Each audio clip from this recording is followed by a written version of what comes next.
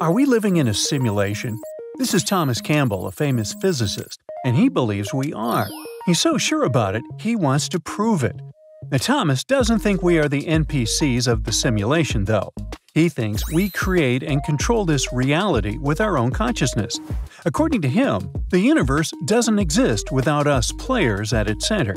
So, in 2017, Thomas designed a series of experiments to test this theory, and here's the first one. Let's take a light source. The light is made of little particles like photons, and we want to see how exactly they travel through space. We take a barrier with two narrow slits in it. The special screen behind the barrier will show us the results, the traces of particles, so we can see what they did. We start and direct a beam of light at the barrier. It goes through the slits, as usual, but then something crazy happens. If no one's observing what's going on, in other words, no one's directly measuring or watching what the particles do, and we only see the final results on the screen, they start to behave like waves. They create an interference pattern on the screen, a weird pattern right between the slits. This would mean that they somehow pass through both slits at the same time, as if the light were a wave. Now, let's try to actually measure and directly observe what the particles do. We place a detector or a measuring device near the slits. And check this out. The light changes its behavior when we're watching it. The interference pattern disappears, and instead, we see two distinct bands on the screen. It behaved like particles and went through one slit or the other, not through both of them at the same time. Now, you might think maybe when we add the measuring device, it messes with the equipment or particles.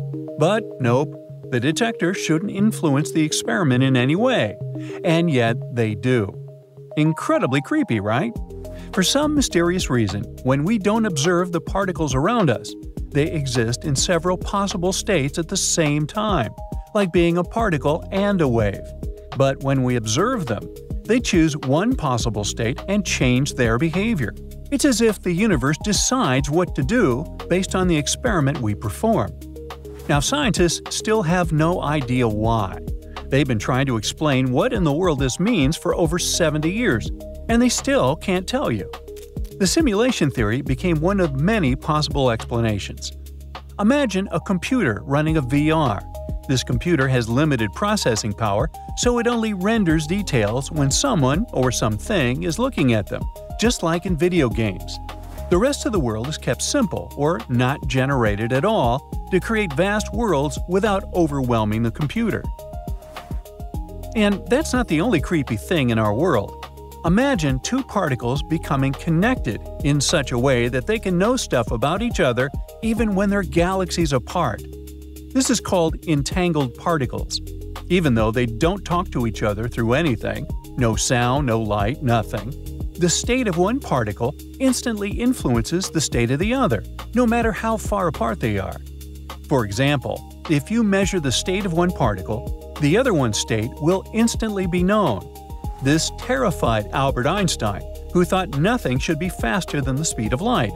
He called this spooky action at a distance.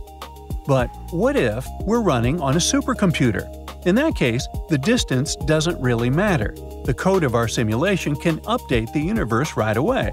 Just like the Greybeards in Skyrim feel that you are a Dovahkiin even from their mountain. Whatever. And if all of that is true, then the Big Bang could have been the moment the simulation began. So Tom launched a Kickstarter campaign to test this theory. He raised over $235,000 to support his scientific team. He's established a nonprofit organization the Center for the Unification of Science and Consciousness, or CUSAC for short. There are four experiments in total. Each one is basically a version of the double slit experiment. They test how and when exactly our reality is rendered. The first one checks what happens when a machine detects the data but no one looks at it. In a video game, details should load up only when someone is observing them. So, if they want to see if particles change their behavior when an actual human is looking at them, or when the machine detects them. The second experiment goes like this. They send a bunch of particles for a run through the slits. Let's examine that they want to record the results on red and blue USB drives. How particles traveled goes on the red drives. The final patterns they draw on the screen goes on the blue drives. Then they randomly destroy some of the red drives. For some particles, we know only what drawings they left, but don't have the recordings of their journey anymore. Now, imagine if the universe somehow realizes that we destroyed those. It knows that now we can't actually watch how the particles travel. And if this changes what drawings they left, it would mean that the universe changes based on whether or not humans are spying on it. Ooh, creepy, huh? The third experiment is crazy.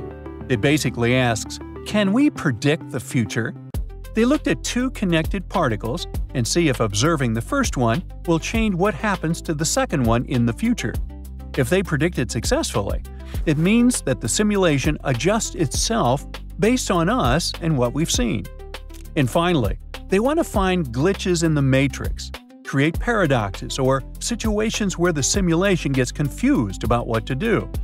In a VR game, if you do something that the game's engine can't handle, you might get stuck in a wall or receive infinite money. Ooh. That probably won't happen in Tom's lab, but maybe something weird will happen, like a bug in reality. These experiments are great no matter what results they bring, because even if they all fail, it will tell us more about how the universe works. Tom's team started just recently. Their experiments are now being conducted at universities in Canada, California, and on the east coast of the United States. It turned out that the experiments are much more complex than they initially thought, even for experienced physicists. There are mostly problems with equipment, sensitivity to vibrations, and getting clear and publishable results.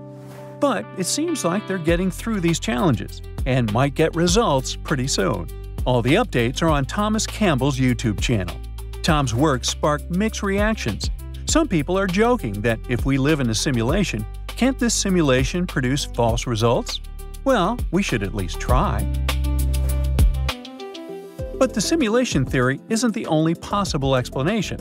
There are also parallel universes. The many worlds interpretation was first proposed in the 1950s. The basic idea is maybe there's a separate universe for anything that could possibly happen ever. Every nanosecond, every particle changes its state in some way, and a new branch of the universe is born. It would work like this. Before observation, particles exist in all possible states at once. Kind of like a ball could be both blue and red at the same time until we look at it. When we do, the universe suddenly splits in two. In one of them, the ball is blue, and in another, it's red. This is called the superposition state, like with poor Schrödinger's cat, who is both alive and not in his little box. These branches can't talk to each other, or at least we can't talk to them yet. And for us, since we seamlessly travel into a new branch every possible second, it feels like we're just living like nothing's happening. But that's just another one of many, many theories that scientists made up while trying to explain this. You know, the Occam's razor says that the most boring and simple explanation is usually the correct one. Maybe there are no simulations or parallel universes. Maybe it's just that particles are wave-like, and the measurement process slightly alters their behavior somehow. Or maybe there is something much greater behind our universe. So, what do you think? What do you think? That's it for today. So hey, if you pacified your curiosity, then give the video a like and share it with your friends. Or if you want more, just click on these videos and stay on the bright side.